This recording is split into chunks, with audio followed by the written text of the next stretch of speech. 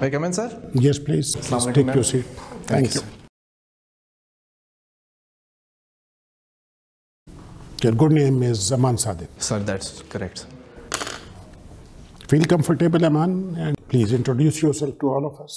Sir, my name is Aman Sadiq.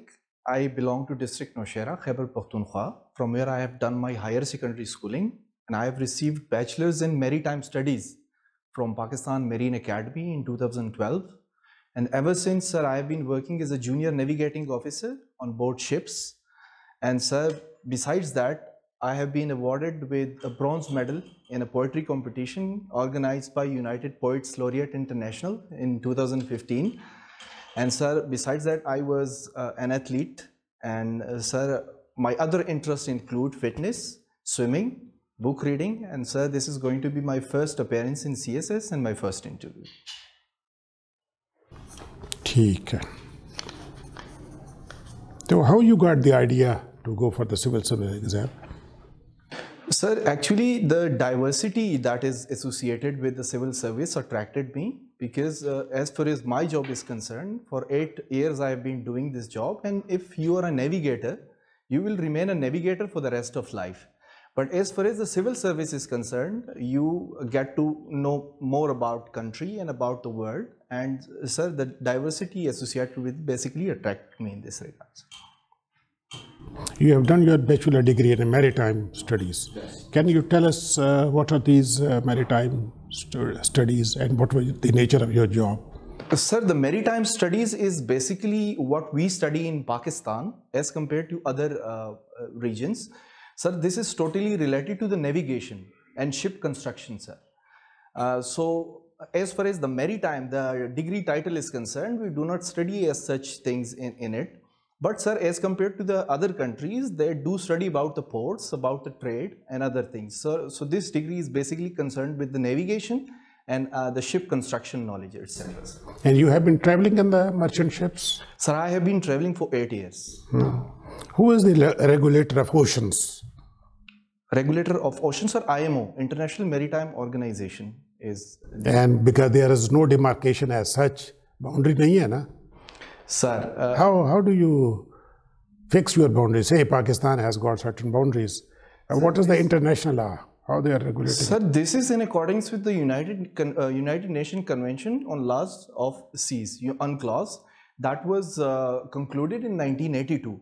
So basically, that is uh, uh, associated with it, and that demarcate the sea boundaries in, in reality, sir. But there is, we keep on listening about this uh, China, South China issues. So can you tell me what are these issues and why they are fighting with each other? They are not happy with each other, Chinese and uh, the other South Asian countries. So basically, uh, Chinese are violating the UNCLOS that was concluded in 1982 because their nine dash policy. And as far as the recent uh, recordings are concerned, now it has become 10 dashes. So they are there to uh, uh, to uh, to bring their hegemony, uh, their oceanic hegemony, and they want to bypass and overlook other nations who have also uh, their part in uh, the ocean. For example, the Philippines and the Vietnam also.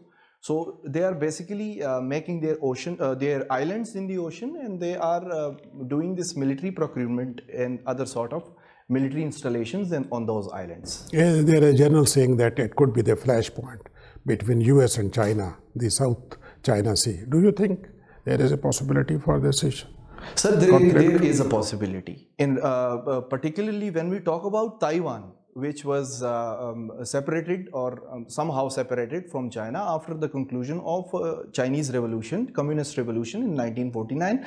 So basically, in that area, the United Nations, uh, United States of Americans Navy, and particularly their Sixth Fleet, is there to uh, defend uh, uh, Taiwan, and they have intervened in the first Tai- Taiwan crisis in 1956, and also in the third, as recent as in 1996. So there is a flashpoint uh, to some extent. Now there is a CPEC.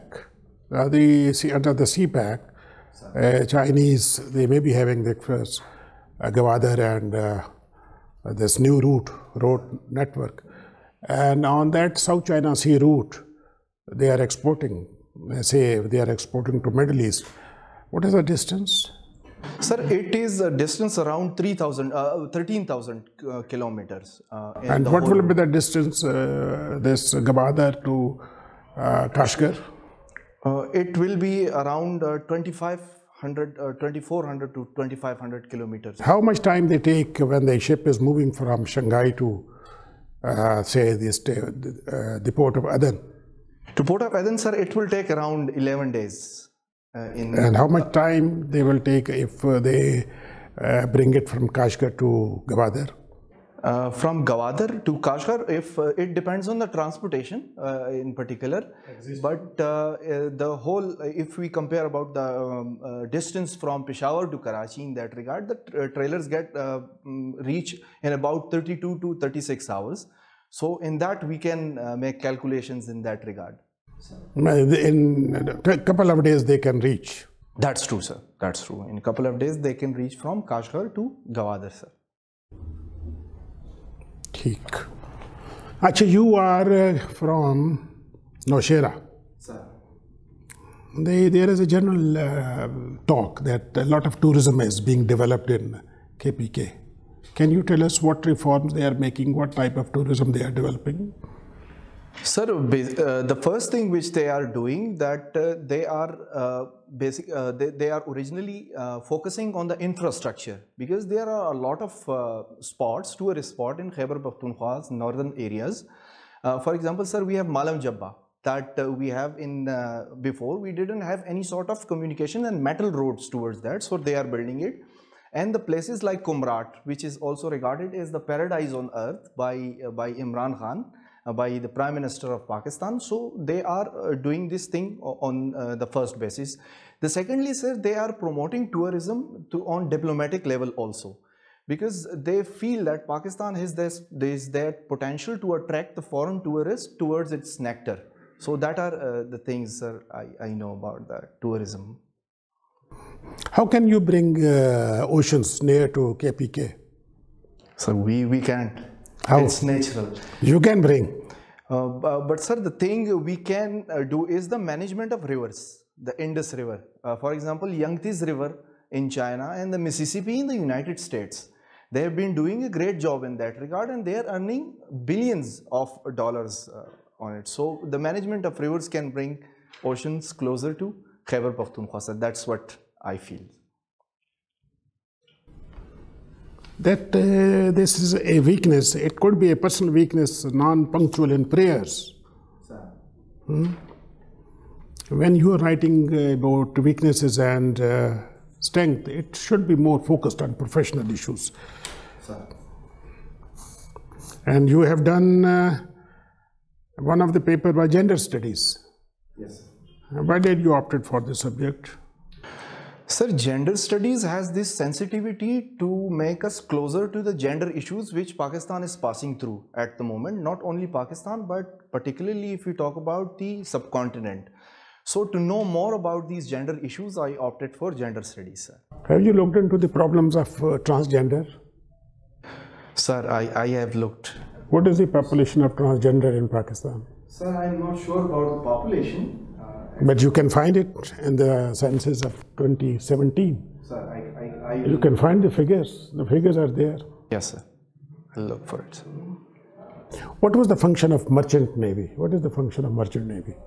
Sir, merchant navy is uh, based on uh, the total mercantilism of a nation. Uh, for example, if you are building merchant navy, you are basically uh, involved with the, the trade uh, with the uh, with the world.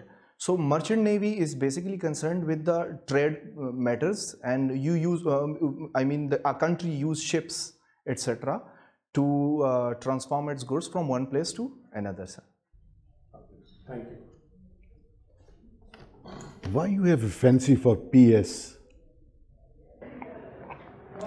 Sir, uh, uh, what I feel that uh, Pakistan Administrative Service has this potential to empower a person uh, in this regard to materialize it, his or her vision in its true sense. What is your vision? Sir, I uh, the valuable community service for uh, the contribution in the valuable community service is one of my uh, visions that I feel for my country, sir. That that that you can uh, contribute uh, in any service, in police, in customs, in any uh, public service. It's public service. What's so special about it? Sir, Pakistan Administrative Service, as I mentioned earlier, the diversity uh, um, related to this um, uh, service, this cadre, has no match. No other. Uh, What do you mean by diversity? Can you explain that?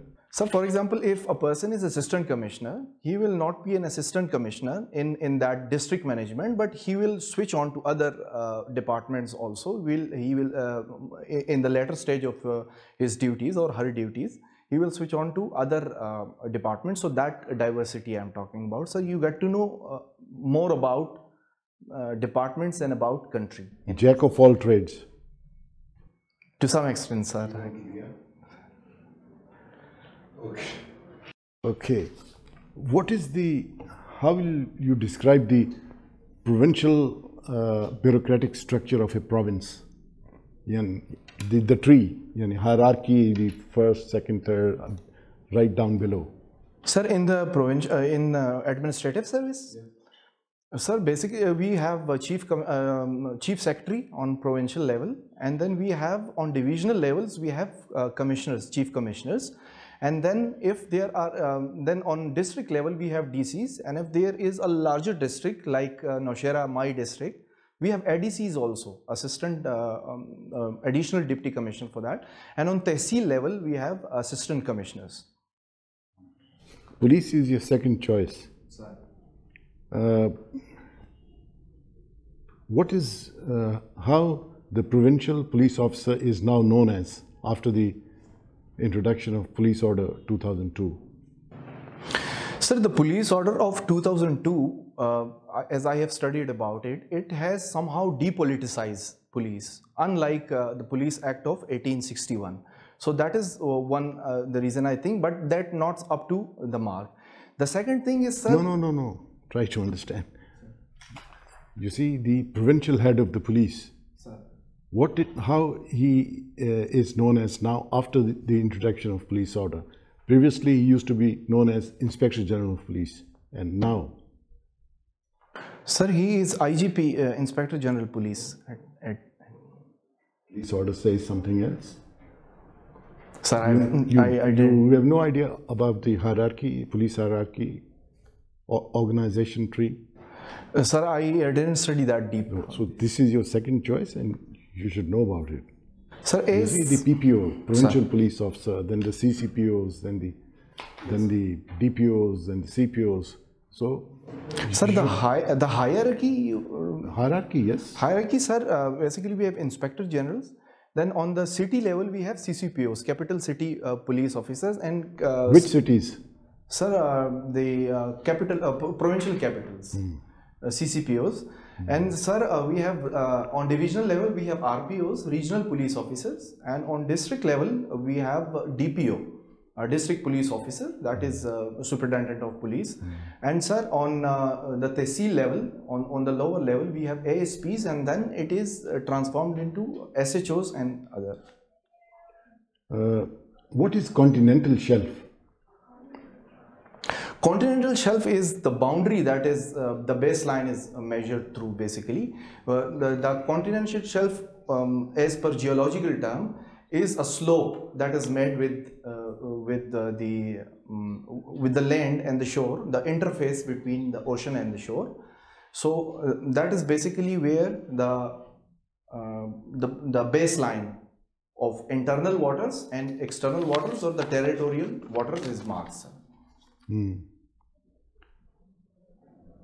America has succeeded in, uh, you see, getting hold of a few Arab countries and has, uh, you see, made them to have diplomatic relations with Israel.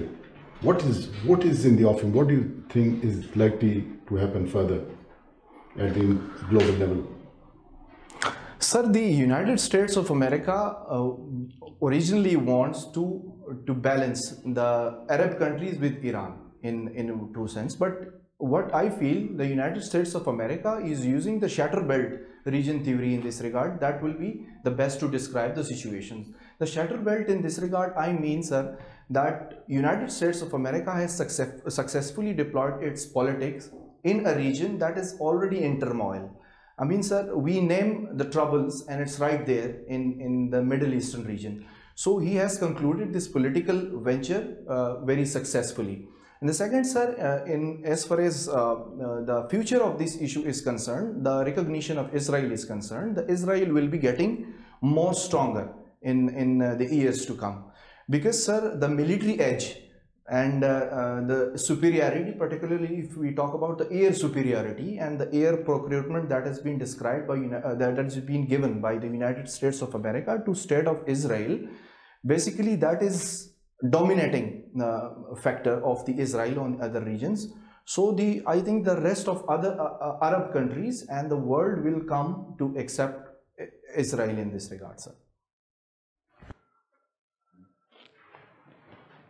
Uh, you gave a certain opinion on South China Sea. That's correct now. Pakistan voted in favor of China on South China Sea. Why do you think so? Ma'am, uh, as we have great diplomatic relationships with Chinese uh, in the past, they have also uh, cooperated a lot in Pakistan. And secondly, we are now the part of SCO after 2017. We are the member of SCO. So uh, the thing which I want to describe is that Pakistan is more is in more favor of eco economic oriented foreign policy at the moment. So China is the best partner partner in this regard, and that's why they have favored their will uh, in in the matter. So you think that uh, no principles were involved in this? And do you really believe that China is trying to establish its hegemony or is it deterring American hegemony in the region? And uh, speaking of the UNCLOS that you uh, alluded to, uh, the UNCLOS definitions as far as the continental shelf and all is concerned is about the natural lands. Yes, ma'am. So, do you think that it is really violating UNCLOS?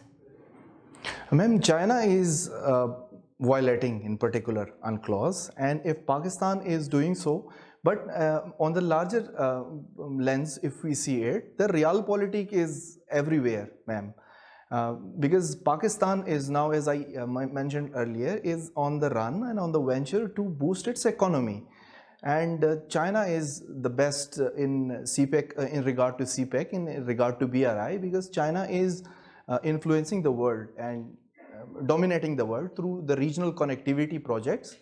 So I feel Pakistan is doing that because of that and and the second thing which I want to mention is Pakistan is losing grounds in the Middle Eastern region and uh, it has always tumultuous and fluctuating relationship with the United States of America on the other region that's why Pakistan has opted to uh, do the favor uh, in um, to do the favor of Chinese in, in the matter, ma'am.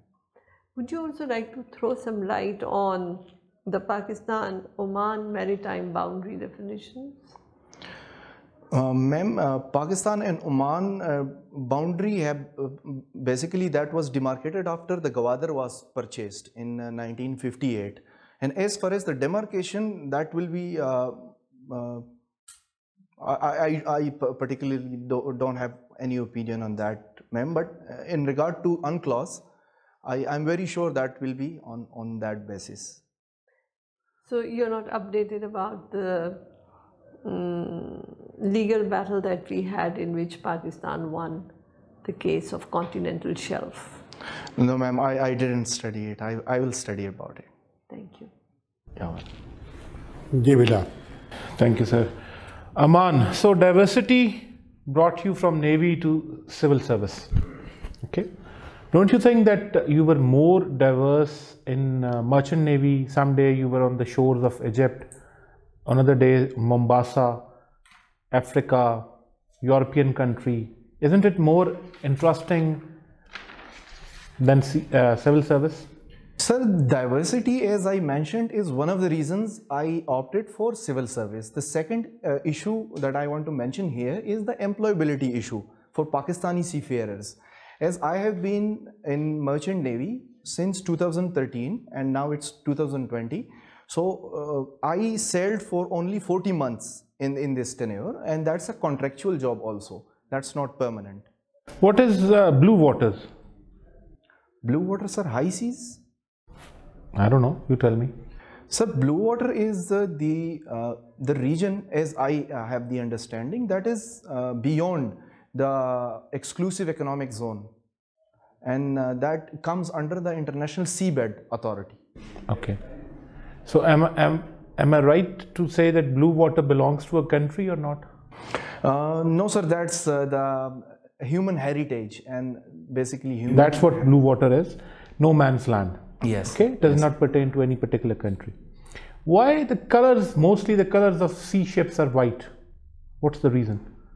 Sir, uh, as far as the merchant navy ships are concerned, they are not white. Uh, I would like to say that uh, we have red color in, at the bottom, and then we have black color at uh, in the upper. But uh, as far as the naval ships are concerned, they are slightly grayish. But uh, Lighter tone colors.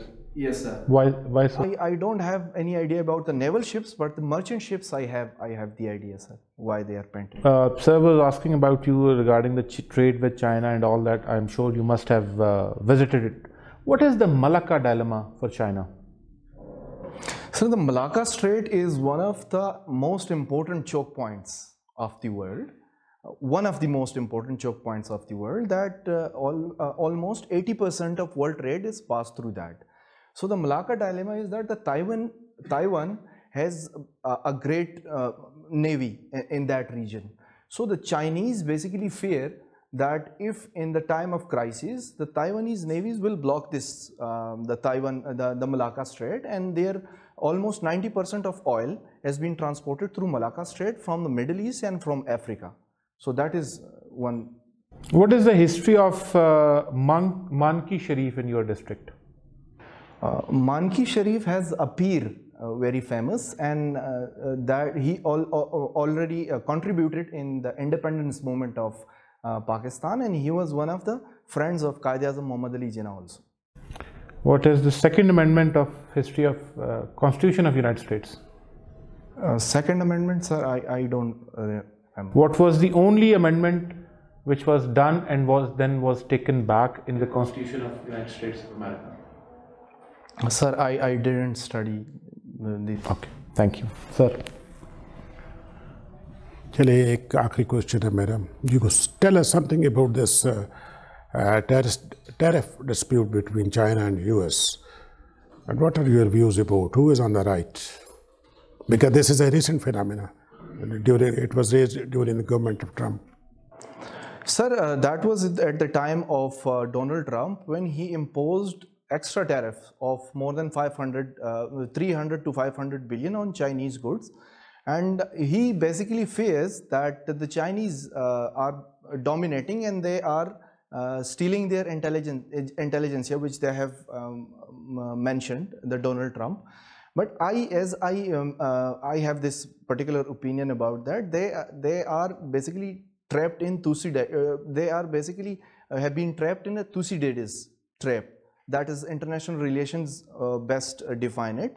They have a fear of the rising Chinese because the Moody's, an international organization, they have mentioned that in 2024, China is going to be the largest economy in, in the world. So the American nationalist leaders like Donald Trump do not accept it, but uh, the protectionist is their uh, protectionism is is their right, but Chinese are have already uh, mm, retaliated back by imposing tariffs on the uh, American goods. And uh, what is the result? What so far? Whether the Chinese have conceded? Uh, no, sir. Actually, because the, the it has not that much impacted the Chinese economy, uh, as uh, the expert, international expert, says that Chinese, uh, uh, despite the allegations which have been made by the Americans that they are losing jobs and their industries are toppling down, and uh, they are losing everything in agriculture, it doesn't seem like this that China is. But in the long run, I believe, sir, China is going to win. What is happening in Ladakh sir Ladakh is the contiguous region with Gilgit Baltistan Azad Jammu and Kashmir and also with Indian occupied Kashmir mentioning sir the reason Gilgit Baltistan Pakistan یس سر یس سر So that is, sir, uh, you're um, um, um, uh, mentioned to say, sir, the war in the Himalayas between the, the uh, India and China, as they have the history of battles in 1962 when uh, China penetrated in their region. Uh, so the second thing is, sir, their irredentist claims of Chinese are there and they are fighting over that issue. Okay, man, we conclude our uh, this formal uh, session. And now we start the debriefing uh, session with you. We will give you our feedback about your interview, and if you have got any questions, you can raise them. No, sir, I don't have any particular question at the moment. Good. Okay. Aman, you are quite experienced, uh, you are knowledgeable, and uh, you have got a pleasant personality, and your communication skills are fine. You can speak well, and your body language is also fine, and you are quite confident. Uh, but still, uh, I think uh, you need to uh, update your current knowledge. There seems to be some uh, knowledge gap, and uh, just try to update it. And when you are arguing anything, say whether it is Chinese or USA, have a listen to both sides. The argument are from both sides. Chinese they have got their own argument. The uh, USA has got old. Indian have got their own viewpoint, and Chinese have got their own point of view. As a student of this, uh, as a civil servant, rather I will say now, because you have got an uh, quite a chance to get through it. So try to analyze the things in the pragmatic way. So I think best of luck from my point of view. Uh, I don't know. oh, I have, whether I'm right or wrong. You, when you are talking, you see, while you're giving answers, you shake your head like this. What's uh, is it natural or It, it, it is natural, sir, or to some you extent. or you want us to accept what you are saying is right? no, no, sir. I think it's his natural style. It's natural, sir. Uh, Actually, sir, I was a debater in, in a. Uh, हाँ मगर आप कह रहे हैं ना ऐसे ऐसे हाँ भाई मैं ठीक कह रहा हूँ ये बात मारो मानो मेरी sir, नेचुरल है ये। I'll, I'll try to. But this is natural, sir. कोशिश करें अगर if you can overcome this Right, sir. I will do that. Uh, जैसे दुरानी साहब ने कहा do try to look at all sides what you have read on south China C is one perspective there are other perspectives and it's not as simple as just pakistan being an ally of china and that's why we are wanting to for our economic gains there are political gains also and um, at least I gave you the hint of. Say, how does it define continental shelf? And does Philippines really have that extension of continental? Because here there are seven contenders to South China Yes, Sea. yes. It's not just Philippines. Yes. And that is because of the problem of definition of the con- continental shelf. And these islands that China has artificially created. Yes, So does the UNCLOS definition fall on this or not? First. Right. So you have to be, जैसे दुरानी साहब ने कहा, be very analytical. Right. There are always two sides of a coin. So jo aap magazines mein ya रिसालों mein ya akhbaron mein पढ़ते hain, yes. critically analyze कीजिए. That's my Uh, um, ma'am, I have a question regarding this because we have been uh, scared a little because of a lot of suggestions uh, about interview. The people say that you have to, you don't have to give everything in, in your answer because it will consume a lot of time and uh, people. That is true. Don't give everything, but you should look unbiased and you should look as though you have read it with a critical mind. right The position that you're presenting is not critical. It's just that you read any magazine from West on South China, they say exactly the same. Right. So it shows that you have जिसा कहते हैं रट्टा मारा हुआ है सोचा नहीं है इस बारे में कि इसके और क्या पहलू हो सकते हैं Right. Right. so that is the point. It's not about throwing information in, but it's about showing how analytical and critical you can be because in civil service, it's not about the issues that we are It is about uh, mustering that ability to analyze situations because whether you go into foreign service or police service or administrative services, you will be in situations where there are no precedences. You will have to create your own precedents, and you can do that only if you have the ability to critically analyze the situation and get all your facts right. Right. So, and that's what the examiner is looking at, not about your knowledge, but about your approach towards life and the information that you have. Right, ma'am. Thank you so much. Thank you. Thanks. जी अमान अ, दो अच्छा चलें पहले let's start with other things US history I ask the very basic things second amendment and the amendment that was taken back you should have known that ठीक है refresh it उसके अलावा कुछ comments हैं आई hope you won't mind it आप काफ़ी देर बैठे रहे फिर आपने बटन खोला कोट का. Try to wear laces shoes with neck tie अच्छा आपका पोस्चर आप नेवी से ट्रेंड हैं तो आपकी ट्रेनिंग बड़ी अच्छी होगी डेफिनेटली बट आपका पोस्चर कॉन्टीन्यूसली बिल्कुल एक स्टैटिक पोस्चर है। थोड़ा सा रिलैक्स हो जाए। ज़रूरी नहीं है कि टांग पे टांग ही रखना है बट थोड़ा सा रिलैक्स मतलब ह्यूमन फैक्टर ह्यूमेन जो वो है। दो personal comment I hope you won't mind it try to look for a uh, or uh, I suggest rather let let's let's not mince the words. I suggest you to uh, look for a better glasses frame for yourself. ठीक है I I think you need to change it. Secondly, you need a good hair uh, makeup or re-over or redone. I, since I don't have it, so I can't know. I don't know who, what it's called, but you need it. I'll do that. sir. ठीक I'll do that. Sir. Thank you. Thank you. Sir.